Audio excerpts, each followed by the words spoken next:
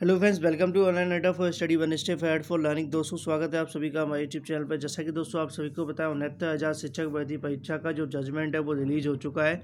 और उसके बाद दोस्तों वो जजमेंट का कहीं ना कहीं लगातार जो है विरोध प्रदर्शन जो है जारी है, कह सकते हैं कि दोस्तों उस जजमेंट को लेकर बी एड बी एड और बी टी सी छात्र दोस्तों कहीं ना कहीं उसका विरोध में है। जनरल जो दोस्तों कैटेगरी के छात्र हैं, वो भी कहीं ना कहीं परेशान है क्योंकि वो उनकी कहीं ना कहीं इस जजमेंट से काफ़ी ज़्यादा नुकसान जो है देखने को मिला है। आप सभी को बताइए तो कह सकते हैं दोस्तों अंतहीन विवादों में उनहत्तर हज़ार शिक्षक भर्ती परीक्षा जो है फ़र्स्ट चुकी है।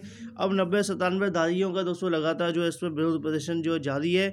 लेकिन अब सरकार दोस्तों, जैसा कि उन्होंने अपनी रणनीति तो साफ़ कर दी है कि वो डबल बेंच में जाएगी।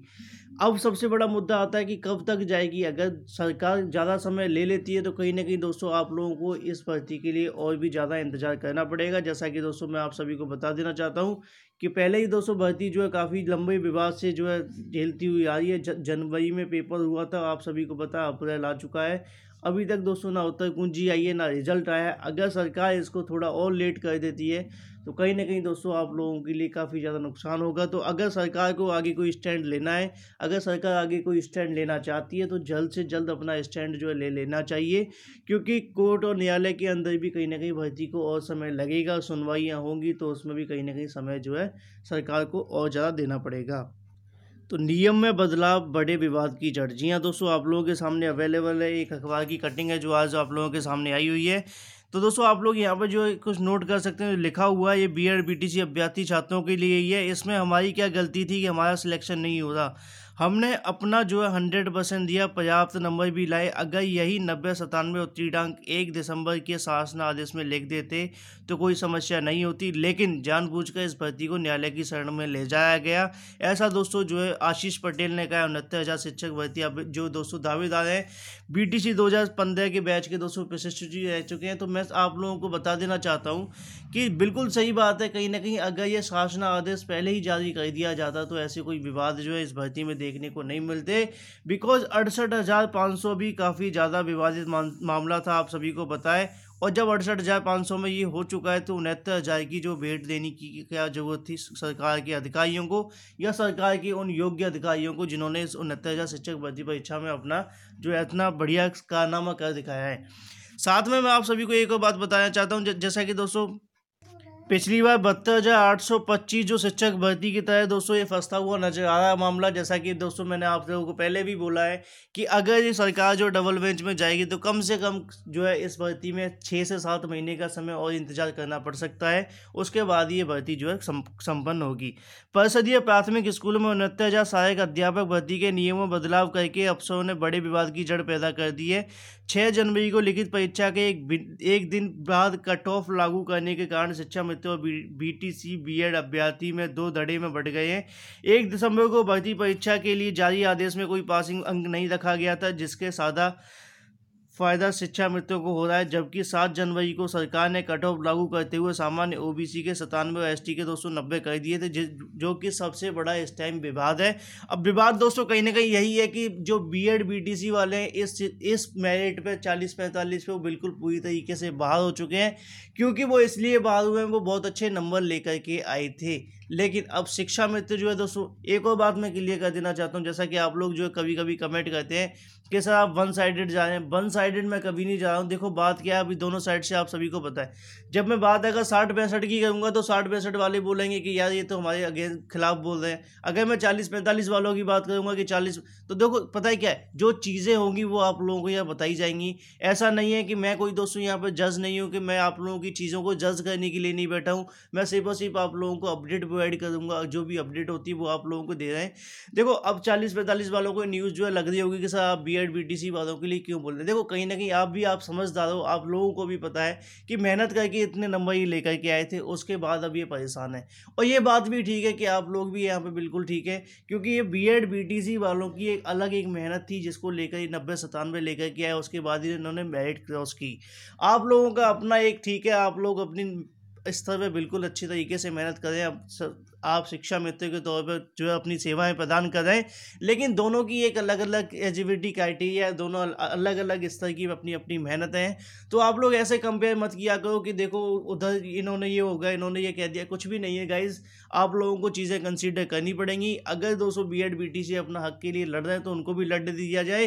क्योंकि शिक्षा मित्र भी अपने हक के लिए लड़े थे तो हमने भी उनका जो है साथ दिया था कि आप लोग मेहनत करिए, आप लोग लड़िए। वो लड़े और इस बात को जीत के अब बी एड सी इस मैटर को लेकर लड़ रहे हैं। तो आप लोगों को इस बात को लेकर बिल्कुल भी जो है परेशानी नहीं होनी चाहिए। बिकॉज़ आप हर बार यही बातें जो होती हैं कि कोई भी अगर कोर्ट जा रहा है, कोई भी कोर्ट कचहरी में जाकर के अगर अपने हक के लिए लड़ना चाहता है, अपने हक के लिए दोस्तों सड़कों पर उतर रहे हैं तो कहीं ना कहीं आने देना चाहिए। आप लोगों को उनका विरोध बिल्कुल नहीं करना चाहिए। जैसा कि दोस्तों यहाँ पर भी लिखा हुआ है कि दो संगठनों में बढ़ गए बी एड एक साइड हो गए, शिक्षा में एक साइड हो गए।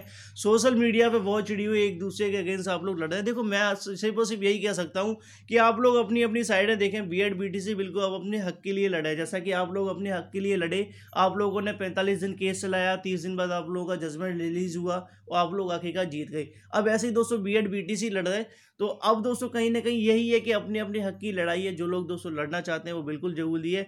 अब दोस्तों कहीं ना कहीं सरकार की गलती है, अगर सरकार साठ पैंसठ पहले लगा देती तो शिक्षा मंत्री इस मैटर को लेकर कभी जो है जीत नहीं पाते।